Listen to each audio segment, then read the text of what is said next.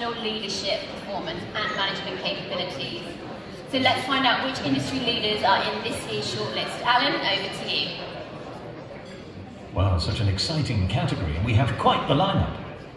Adalvo, Aragen Life Sciences, Celltrion Healthcare, Fermenta Biotech Limited, Piramal Pharma Solutions, and Procos SPA.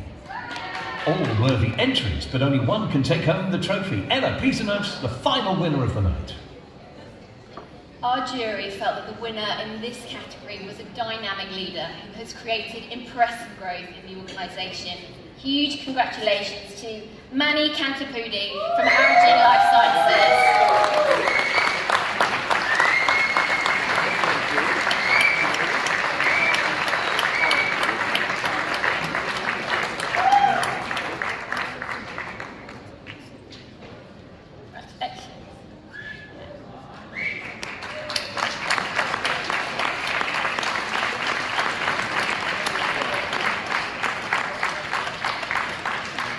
Grateful for receiving this award from the CPHI Organizing Committee today. The CEO of the Year award is uh, highly prestigious and coveted, and uh, it's an honor to receive this uh, from the CPHI committee. Um, from all of the other uh, CEOs who've been nominated, I really feel humbled and grateful that the committee uh, and the jury decided to select Aragen for this award. At Aragen, we've always believed that in every molecule is the possibility for better health. And this is what drives us to deliver great results for our biotech and pharma customers.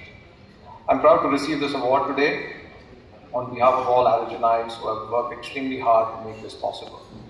I want to thank the CPHI Organizing Committee, the 17 member jury uh, that has gone through all the details of all the nominations, and I also want to uh, thank the board of Aragen, the board of directors of Aragen, who are constantly guiding and encouraging uh, me and my team.